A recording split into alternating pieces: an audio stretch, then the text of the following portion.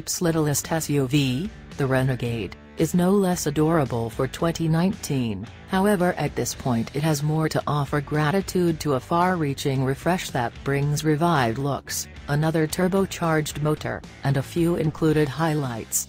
Subsequent to seeing a sea of the refreshed model not long ago, we currently have full data on the 2019 Jeep Renegade lineup, which will go on special in the US before the current year is over.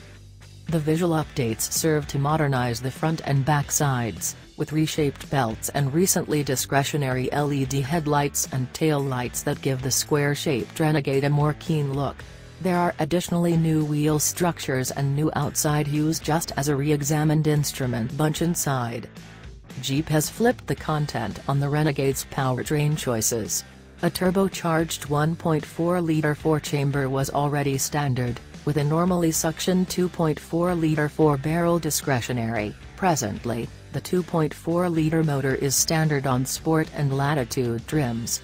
It makes the equivalent 180 pull and 175 pounds-to-foot of torque and keeps on utilizing a 9-speed programmed transmission.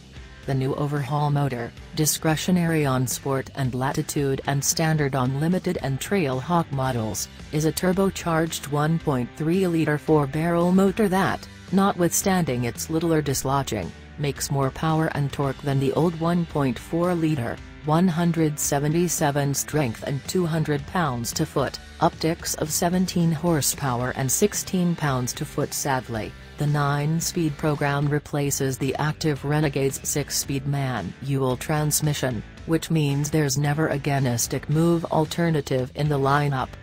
For 2019, the two motors will come standard with front-wheel drive, all-wheel drive is discretionary, and the rough terrain situated Renegade Trailhawk proceeds with its progressively competent all-wheel drive framework with a low range. Jeep is promising that the 1.3-liter motor will convey enhanced efficiency numbers, this new motor accompanies motor stop-slash-begin usefulness and programmed grille shades that ought to give an uptick thought about the 1.4-liter motor's EPA joint rating of 26 miles per gallon for both front and all-wheel drive forms.